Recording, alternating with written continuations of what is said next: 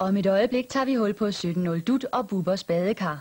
Om en halv time er der mere tegnefilm med elefanternes konge Barbar. 17.55 tager Jan, Dan og Janette på oplevelse i verden i Faktisk. Her er først Bubbers badekar. Så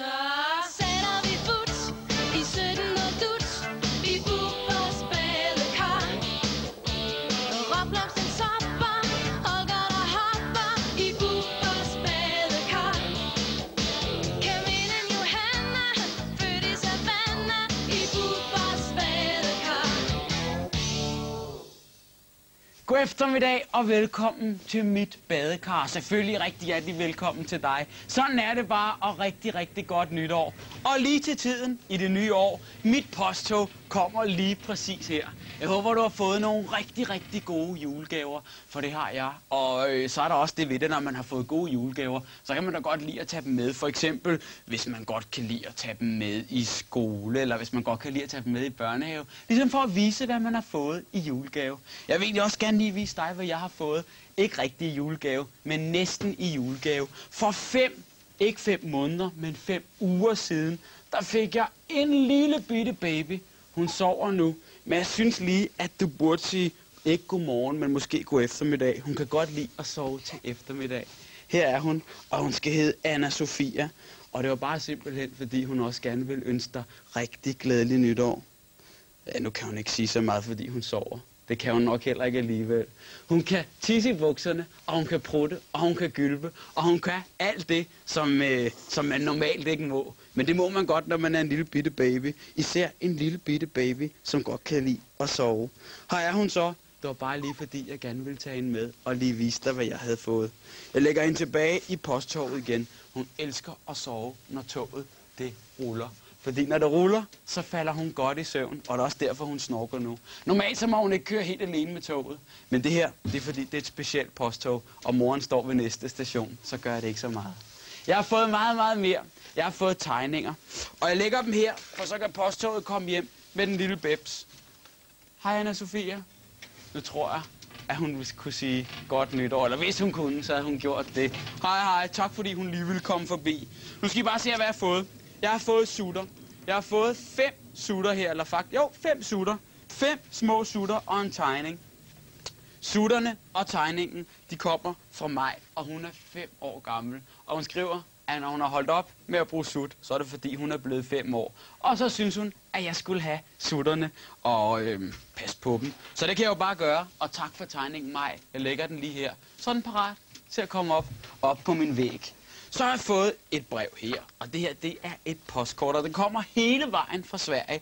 Og det er en pige, som bor der, der hedder Josefine, som har tegnet både badekarret og Holger, og hun har tegnet generelt drøbtud, og hun har tegnet Johanna, og hun har tegnet mig, som sidder og siger, muligvis godt nytår, for nu er vi jo trådt ind i et rigtig godt og et rigtig hyggeligt nytår. Jeg håber, du kom godt ud i det. Jeg hoppede. Nu skal I bare se her.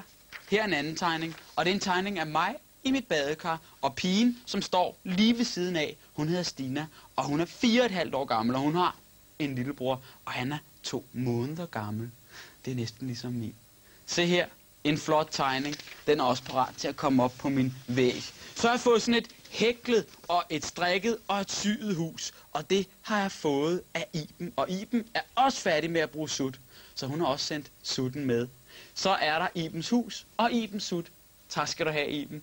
Flot tegning. Jeg elsker at få tegninger og malerier. Og her for eksempel maleri. Det er mig i mit badekar, og det er fra Nadja.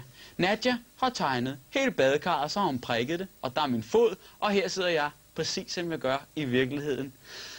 Muligvis, fordi jeg gerne vil læse et eventyr for dig, eller et eller andet andet. Tak skal du have, Nadja, og tak til alle jer andre. Jeg har stadigvæk en postboks, og hvis du har lyst, så kan du sende mig et brev eller en tegning. Det vil være aller, allerbedst med en tegning, som komme op og hænge på væggen. Jeg elsker nemlig at få tegninger, og selvfølgelig er det ikke dem alle sammen, jeg kan nå at læse op præcis når fjernsynet er der. Men ellers så ser jeg alle de andre, og jeg elsker tegninger. Hvis du har lyst, så kan du sende en tegning til Bubers badekar. Det er let nok.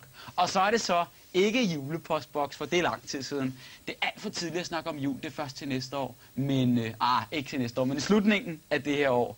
Det er, ellers er det bare postboks, og det er postboks nummer 700, og det er 2800 Lønby.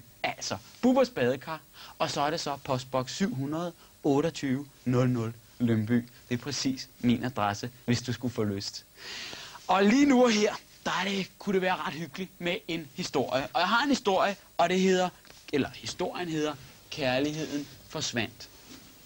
Og nu ved jeg ikke, om du går rundt og er trist. Det er i hvert fald en kedelig ting, hvis man går rundt og er trist. Nogle gange, så kan man godt føle det, som om måske, at alting er trist og dødt, og alle farverne er forsvundet, og det hele det virker meget mærkeligt og meningsløst, og der er ikke nogen, der kan forstå en. Men så er det simpelthen fordi, at man måske mangler at møde en. En, som kan forvandle ens liv med kærlighed, og så kommer alt igen. Og når alt kommer igen, ja, så er det fordi, man er blevet forelsket. Og det er ligegyldigt, om man er 5 eller 65. Og den her bog, den handler præcis om kærlighed. En morgen, sådan startede den. En tidlig, tidlig morgen, da Felix, han vågnede. Der var alting anderledes. Han lå der i sin seng, og han kiggede sig forundret omkring. Næsten alle farverne var forsvundet. Det hele det virkede trist, og det virkede dødt. Selv kanariefuglen, den var blevet tavs, og den var blevet bleg. Han har en kanariefugl. Den plejer at stå i et bur for enden af hans seng. Og den plejer at vække ham hver morgen med sin lystige kvideren. Men det var der slet ikke tid til her i morgen. Den var helt stille og rolig, da han vågnede den her morgen. Felix, han elsker morgenmad. Og da han gik ned for at spise sin morgenmad, der, sad hans far, hans mor og alle hans søskende. De stirrede på ham, som om, at det var ham, der var noget galt med. De talte til ham, men han forstod ikke, hvad de sagde. Deres ord var uden mening. Maden, den smagte heller ikke af noget. Så Felix, han rejste sig, og så gik han sin vej. Han forlod bordet og gik op på sit værelse. Jeg sætter mig her i min stol på mit værelse. Jeg sætter mig her for at læse en god bog, sagde han til sig selv. Han vil læse en bog, som er sjov, og en, der kan få ham til at grine. Men han lå ikke en eneste gang, mens han læste. Han opdagede slet ikke, hvad der stod i bogen. Bogstaverne, de hoppede og dansede for øjnene af ham. Han frøs, som om værelset det var fuld af sne. Jeg går ud, hvor solen skinner, tænkte han. Måske møder jeg nogen, jeg kan snakke med, og nogen, som jeg forstår. Og så rejste han sig op, hundefrysende, og gik udenfor. Nede på gaden, der så han alle menneskerne. Men det var som om, at de ikke så ham. Alle, hver og en, gik rundt i deres egen lille verden. De havde ingen ansigter. Deres hoved, det var som lukkede kurve, uden liv. Ingen talte til ham.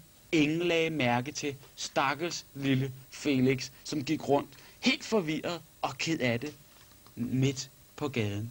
Felix, han slæbte sig afsted op ad de store gader. Han så lige pludselig, at der kom et cirkusoptog. Eller det gjorde han faktisk ikke, for han hverken hørte eller så, eller hørte klarinetter, eller at de sang. Og han lyttede ikke engang til trommerne og trompeten, og han så ikke den store brune bjørn, der dansede. Hans ører hørte ingenting, og hans øjne så ingenting. Så trist var han. Han stirrede kun ned i jorden, og havde ikke andet at bekymre sig om, end hvor trist det hele var. Pludselig, der snublede Felix over en stor sten. Han opdagede, at han var kommet hele vejen ned til stranden. Nede ved vandet, der var der stille. Ikke en vind rørte sig. Ikke et skib var at se. Havet, det store vældige hav, det lå blankt som et spejl. Men langt borte, der fik Felix øje på et menneske. Et lille og gråt menneske, der sad helt stille og helt alene. Gad vide, hvem det var. Felix havde lige pludselig fået øje på et eller andet dernede på stranden. Hvad det var, og hvad der skete, og om de nogensinde mødte hinanden, det kan du få at vide næste gang. Fordi så fortsætter den med anden halvdel af den her historie, om der hedder, eller der hedder Kærligheden forvandler alt. Sådan er det bare. Og øh, min kærlighed til General Drøbtud, den er stor. Jeg kan godt lide General Drøbtud, og øh, elsker at møde ham. Og jeg ved også, at du godt kan lide at møde ham. Og der er det ved det, at jeg gik ud og ledte efter ham. Jeg ledte, og jeg ledte, og jeg ledte, og jeg kunne ikke finde ham. Men øh, jeg mødte en anden, en anden person, som sagde, at han var assistent for julemanden. Det er et par dage siden, så han havde lige fået fri og var på vej hjem. Han, nu kan jeg ikke rigtig huske, hvad det var, men du må hellere selv se, og inden der vil jeg